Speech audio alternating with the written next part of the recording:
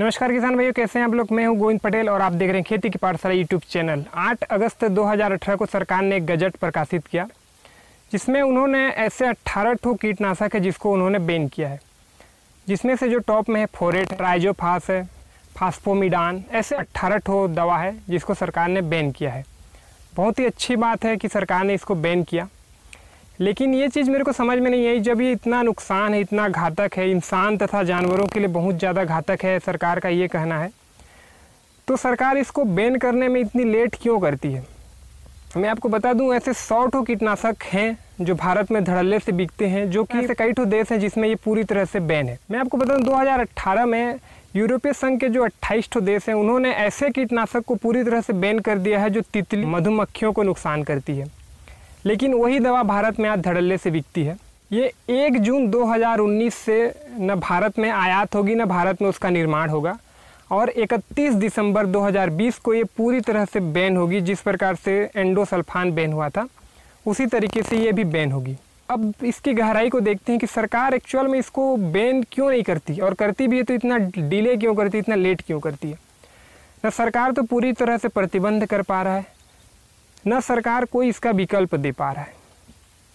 मैं आपको बता दूँ, जो कृषि होती है, वो राज्य सूची में आता है, लेकिन कीटनाशक पर प्रतिबंध लगाना, वो केंद्र सरकार के मंजूरी पर रहती तो सरकार को इसका विकल्प तो देना चाहिए। खैर, सरकार की सोचने में अभी बहुत टाइम है। सबसे पहले हम किसानों को सोचना पड़ेगा कि भाई, ये जब बैन होती है कोई भी दवा तो उसके बाद हम लोग ऐसे क्या विकल्प अपनाएँ? या फिर जिस तरह से कीटनाशक बैन होती जा रही है, एक दिन ऐसे आएगा जो सारे कीटनाशक पूरी तरह से बैन होगी। तो उसके लिए हमको पहले से तैयार होना ही बेटर है। ये वाले वीडियो का मकसद ही यही है कि जिस तरह से कीटनाशक बैन हो रहे हैं हमारे भारत में तो आगे भी जिस प्रकार से हम लोग कीटनाशक का यूज़ करते हैं, आगे और भी कीटनाशक बैन होती जाएगी तो हम लोग क्या विकल्प लें? सरकार क्या विकल्प देगी वो पता नहीं, लेकिन हम लोग क्या विकल्प लें, उसके बारे में हमको सोचना पड़ेगा। तो इसके लिए एक बेस्ट चीज़ होती है जैविक खेती। जैविक खेती में एक डर होती है कि यार हम अगर जैविक खेती करें तो भाई जो हम लोग होम मेड आती है, वो दवा को कैसे बनाएँ, उसके जो झंझट वगैरह को देख के लोग पीछे हटते हैं। इसके साथ साथ एक और चीज़ आती है कि उससे उत्पादन कम होती है। सरकार की रिपोर्ट के अनुसार पिछले मतलब तीन साल तक थोड़े थोड़े कम होती है। पहले साल ज़्यादा कम होती है, उसके बाद थोड़ी इंक्रीज़ होती है इंक्रीज़ होती है, तीन साल बाद बराबर आ जाता है। तो ये जो तीन साल का जो गैप रहती है तो इसको फील कैसे करे? किसान, इसके भी डर में लोग जैविक खेती करने के लिए थोड़ा सा डरते हैं। लेकिन जैविक में भी एक ऐसी ऐसी मित्र फंगस हैं, ऐसे कीटनाशक हैं, जो कि एक साइलेंट तरीके से काम करते हैं। कहने का मतलब अगर हम लोग कीटनाशक डालते हैं किलर की तरह होता है।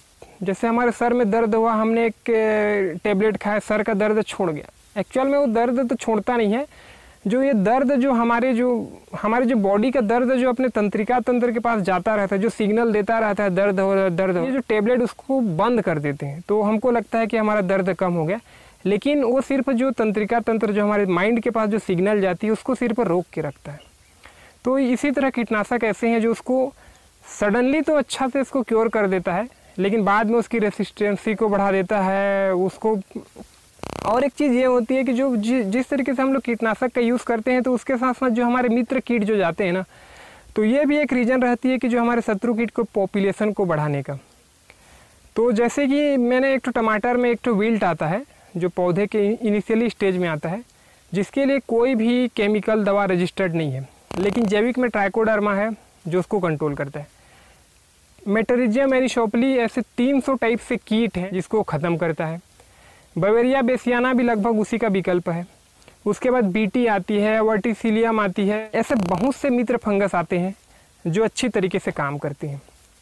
तो अभी समय आ गया है कि हम लोग इसको क्या करें। तो ठीक है, सरकार का काम है प्रतिबंध लगाना, जो कि बहुत अच्छी बात है, लेकिन अभी हमको क्या स्टेज उठानी पड़ेगी कि जो कीटनाशक होती है ना, कीटनाशक का तो यूज़ आप कर रहे हैं, कोई दिक्कत नहीं, आप करिए। लेकिन उसके साथ साथ आप जैविक के मित्र फंगस वगैरह है ना, उसको भी उसको भी थोड़ा जगह दीजिए। अब एक आती है कि यार हम लोग केमिकल के साथ इसको कैसे करें? है ना, मित्र फंगस को। देखिए क्या होता है, मित्र फंगस तो भाई फंगीसाइड हम लोग डालेंगे तो तो मरेगा। अगर हम लोग एक पीरियड फिक्स कर लें, है ना, जैसे मिट्टी शोधन के लिए हम कोई भी फंगीसाइड को अपने जो फर्टिलाइज़र के साथ मिक्स करके खेत में ना दें। तो अब मिट्टी को शोधन के लिए जो भी आप फंगस को यूज़ करते हैं, जैसे ट्राइकोडर्मा हुआ शूडोमोनास हुआ तो इन सबको जैसे हम लोग करते हैं तो कोई भी जैसे हम लोग फंगीसाइड खेत में न डालें तो कोई कोई भी दिक्कत नहीं है कि वो अच्छे तरीके से होगा। इसी तरह अगर हम लोग उसको एक पीरियड के बीच में डालते हैं तो उसके बाद अगर हम लोग स्टार्टिंग स्टेज से शुरू करते हैं तो हम, हमारे में फंगस का भी अटैक नहीं होगा तो हमको फंगी भी डालने की ज़रूरत नहीं पड़ेगी। और ऐसे बहुत से कीट हैं जो फली छेदक कीट, जैसे अपना मेट्रिजियम हुआ फली छेदक कीट हुआ, ऐसे बहुत से कीट हैं जिसको ख़त्म करता है। साइलेंट तरीके से ख़त्म करता है। इसमें क्या कि एक बार आप छिड़क के छोड़ दो, खेत के पत्ते में वो लोग चिपके रहेंगे, जैसे ही कीट वहाँ से गुजर के जाएगा तो उसके बॉडी में टच होगा, वो ख़त्म हो जाएगा। तो हम लोग केमिकल के साथ अगर इनको भी जगह देते हैं हमारे खेत में एक सही शेड्यूल के साथ तो हमारा खर्च भी कम होगा और हम लोग आगे भी अच्छी तरीके से इन सब का यूज़ करके हम लोग जैविक की तरफ़ एक कदम बढ़ा सकते हैं। तो मेरा वीडियो बनाने का मकसद ही यही था कि हमारे जो केमिकल वाली खेती है, इसके साथ साथ हम लोग जैविक को भी थोड़ा सा जगह देते जाएँ। धीरे धीरे जगह दें, वो बढ़ती जाएगी। और उसके बाद एक समय ऐसे आएगा कि हम लोग खुद ये जो केमिकल है, उसको छोड़ देंगे।